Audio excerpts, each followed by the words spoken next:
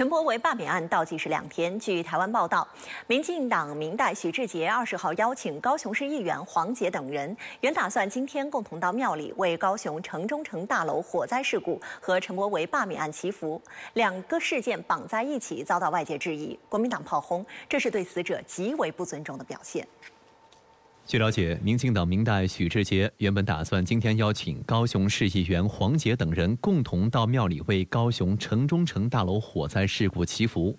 在发出的采访通知里，有民众发现竟然还包括为陈柏维案祈福。消息爆出，立即引发外界质疑。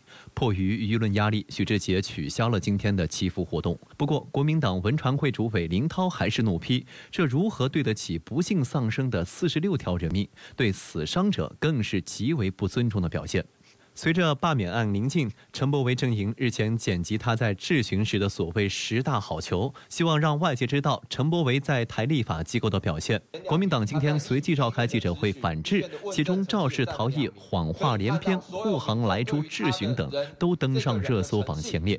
国民党指出，支持罢免不是仇恨动员，而是为了抑制陈柏维撕裂社会的仇恨言论。相较上次蔡英文力挺高雄无党籍议员黄杰的力道，此次蔡英文与桃园市长郑文灿等民进党高层都不敢大力挺陈柏维，就是因为心虚，不敢为陈柏维的所作所为背书。昨天蔡英文讲说，他希望他们的党公子呢持续关心陈柏维哦，那做出冷静的选择。